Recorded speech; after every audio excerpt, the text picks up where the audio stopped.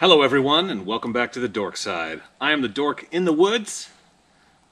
These are the woods. Today, we're going to look at all the mods on my Honda Africa Twin.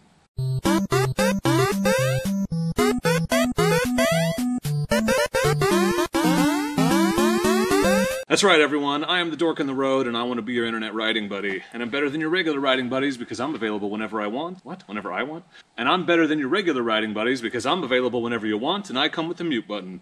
So please consider subscribing, and don't forget to turn on those notifications so that you know when I post awesome new dual sport and adventure motorcycling content just like this. So I'm out here in the woods talking to myself. We're near Mary's Peak, and I figured it was finally time to make a video that many of you have been asking for. A lot of you are very curious about the mods that are on my Africa Twin, and so I made a comprehensive list for you. You'll find a full list with all the links in the description, and I'm just going to run down really quickly because there's a lot, and I want to fit it all into one video. So if you have questions or anything about anything specific, please feel free to leave them in the comments. And also, just keep in mind that I bought this bike with most of the mods on it, so uh, as far as install, things like that, I haven't done most of the work myself, at least not yet with some exceptions. So just keep that in mind. But let's take a look at everything that's on this bike. Big thanks to Mike, the guy that owned this bike before me. He did a fantastic job setting it up with basically everything that a guy could want on a bike like this. And so it's really, really well equipped and I'm stoked that it has all the mods that I would have wanted and I was able to pick up a bike pre-modified to basically exactly what I wanted. So let's take a look at what's on the bike. You'll have to forgive me, I'm going to use my notes on my phone so I don't forget anything. I don't want to miss any mods. And I'll be working off the same list on here that you'll find in the description below. In no particular order, here are all the mods that have been done to this motorcycle. So first, these are the Machine Art Moto Advance adjustable handguards. So all of this is aluminum, as you can see, but it's such a crazy, interesting design. Here, I'll give you a close. It's a super interesting design because they're adjustable. So I have them all the way up because it's winter and I want to keep the wind off my hands, but um, when it's less cold, you can actually adjust this down to give yourself a little bit more airflow and just have them a little bit more out of the way. And in the summertime, when you need maximum airflow, you can actually take out this plastic part, comes out, this whole thing comes off and it's just pure, and this is aluminum. It's just a piece of metal with air flowing through it. So it's, in, it's a genius design. Well done, Machine Art Moto. I'm, it's really impressive. It's unique. I've never seen anything like it. Next mod, and you can see them right here, but these are the engine guards from T-Rex Racing. This puck actually has a CRF logo on it. There's a puck here and another one down below. So these are the, as far as I know, the only Africa Twin crash bars with pucks that can actually wear down to protect the bars if you do end up dropping it on pavement. So kind of a cool design. This is the SW-Motech side stand foot enlarger. On crappy kind of muddy, slushy ground like this, gives you a lot wider foot, makes it easier for you to, to keep your bike from sinking in, especially with a bike this heavy, that's really important.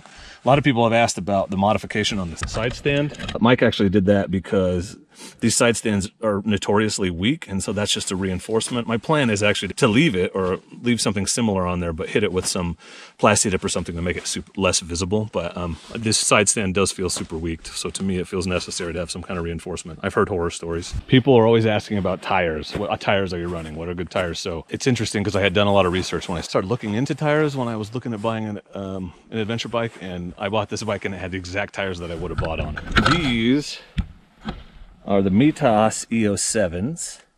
You see, I'll show you the back. A really nice, lots of tread, deep grooves, so good off-road traction, but they're really nice on the highway too. So they're a really great 50-50 tire. Brett from Mototrek said they're the best 50-50 tire he's ever used, and frankly, that endorsement's enough for me. It's kind of hard to see, but I'll, I'll flip it with my foot. So it has a center stand. That is the Honda OEM center stand. It has a real nice foot lever for pushing it down and it does a great job. We use it in the garage all the time. So let's talk a little bit about luggage. As many of you know, Giant Loop is a very generous sponsor of the channel. So these are the Giant Loop Mototrekk panniers, and these are the Giant Loop um, pannier mounts. And the cool thing about these pannier mounts is they make this system super, super slick and easy to take on and off, just like, just as simple as this. So it's a really great setup. These Mototrekk bags will work without the rack, but you have to strap them on every time. This is just a slick on and off. So if you're trying to get into your tent or your hotel room or whatever, you can just take the bags with you. They're, these are fully waterproof, RF welded. A ton of room. I've had a hell of a time filling them up, to be honest. My tank bag is the Giant Loop Fandango tank bag. This is the bigger adventure bag. I don't remember how many liters it is, but it's insane. It holds a ton of stuff. So I got my tripod, my other GoPro, compressor, my goggles are in there, all my batteries, all my charging stuff, and with room to spare. Um, it has a transparent pocket for your cell phone or, or a map on top. It's got a, a pass through. It's semi waterproof, but if you add the dry pod that they give you with it. It's fully waterproof. It's a really great option and I super dig it. These are the Givi Outback side frames. So they will work with the giant loop stuff, even though they're specifically made for the Givi cases. So I had to take off, there's like a bracket that goes over the top of this that I had to remove and then put some spacers in. So it's not ideal, but it does the job. This is the AltRider rear luggage rack. It's actually how I got my tripod up here today. This gives you a lot of extra space on the back for luggage. You can mount another bag back here, firewood, tent, whatever you need.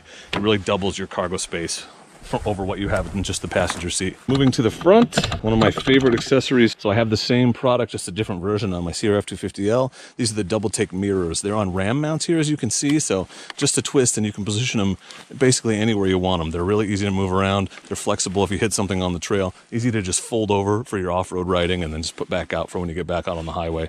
Uh, the vision, field of vision is really good. I'm really impressed with them. I typically hate stock mirrors. I just don't feel like you get enough field of view.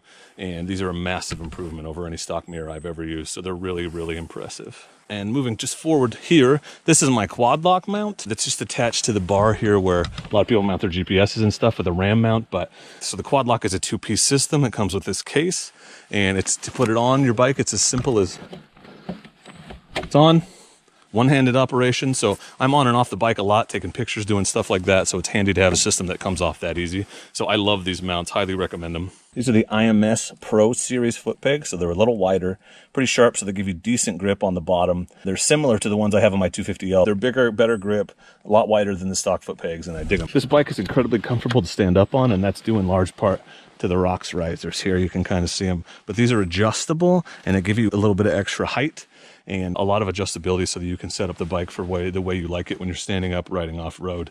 So these are a neat accessory. There's a link for those down below. So this is the SW-Motech adjustable custom shift lever and you can see it slides up and down here so you can adjust it depending on how wide your foot is. It's a, it folds so it doesn't break off when you go off-road.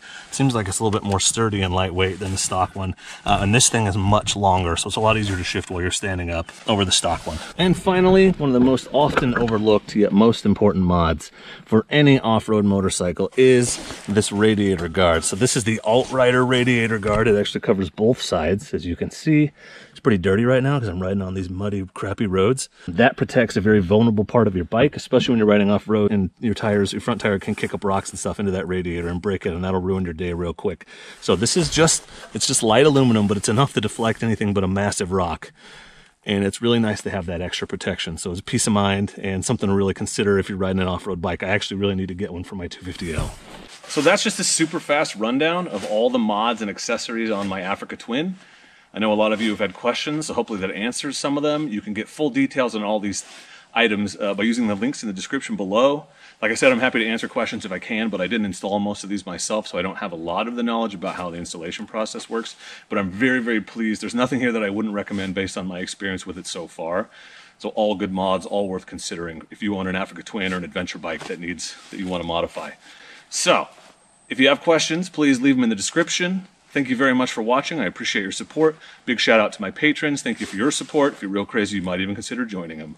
If you got some useful information out of this video or an idea for a new mod, please just go ahead and hit that like button. It makes the video more visible, helps the channel out a ton. I appreciate your support. And for now, and as always, please do not forget to be excellent to each other.